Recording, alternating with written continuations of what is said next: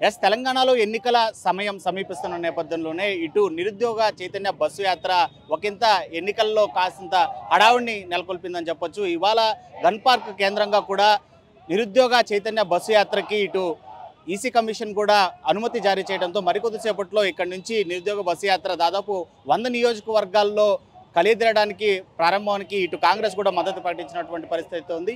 మనతో పాటు ప్రస్తుతం మాట్లాడడానికి దయాకర్ ఉన్నారు. సార్ చెప్పండి.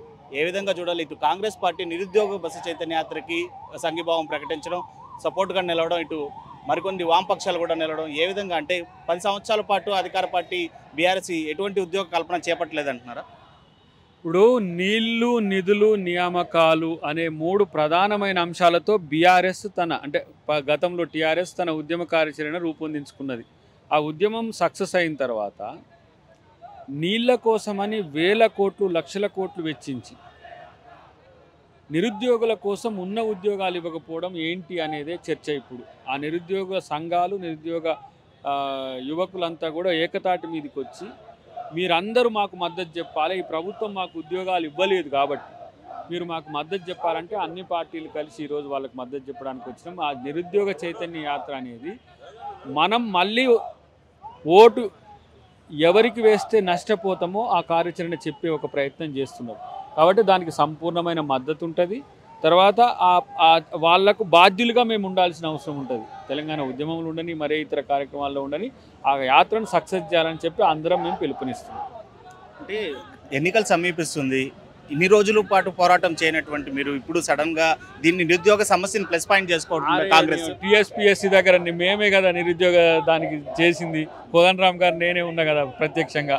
ఉద్యమాలు పార్టీ కూడా చేసింది. కాబట్టి డెఫినెట్గా ఇది సక్సెస్ కావాలని కోరుకుంటున్నాం. సక్సెస్ అవుతుందని కూడా చేస్తున్నాం. విద్యార్థి లోకం అంతా కూడా నిరుద్యోగ లోకం అంతా కూడా ఈ చైతన్య యాత్రకు మద్దతు చెప్పాలని చేస్తున్నాం. ఇవాళ వంద నియోజకవర్గాల్లో బస్సు యాత్ర జరగనుంది అని చెప్పి విద్యార్థి సంఘాలు చెప్తున్నాయి నిరుద్యోగ సంఘాలు చెప్తున్నటువంటి పరిస్థితి. ఆ వంద నియోజకవర్గాల్లో తిరిగేటువంటి పరిస్థితి కనిపిస్తుంది? అనుమతులు లభిస్తాయా అన్ని చోట్ల?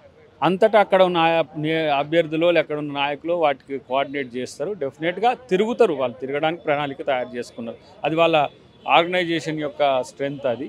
మేము అక్కడక్కడ ఎక్కడ పోతే ఇప్పుడు ఈ రాష్ట్ర స్థాయి నాయకత్వం ఎట్లా ఉందో అట్లా క్షేత్రస్థాయి నాయకత్వం కూడా వాళ్ళకి మద్దతు చెప్తారు. ఇవాళ కాంగ్రెస్ పార్టీ నేతగా మీరు మద్దతు ప్రకటిస్తున్నారు. తిరిగి అధికారంలో కాంగ్రెస్ కనుక వస్తే ఎటువంటి హామీ? కంప్లీట్గా at a time two lakhs ఉద్యోగాలతో పాటు అదనపు ఉద్యోగాల కల్పన కూడా బడ్జెటరీ పోస్టులను కూడా పెంచే దాని విషయంలో మేనిఫెస్టోలో ఉంది. అది చాలా సీరియస్గా తీసుకుంటున్నాం. అది అధిష్టానం వింటుందంటారా? ఖచ్చితంగా బడ్జెటరీ పోస్టులు బ్రదర్ అవి వేరే ఏమి కాదు. కాబట్టి ఓకే.